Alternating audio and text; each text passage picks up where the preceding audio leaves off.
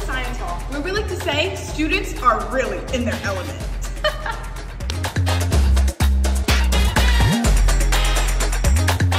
Here we have our state-of-the-art study tables where our students study super hard.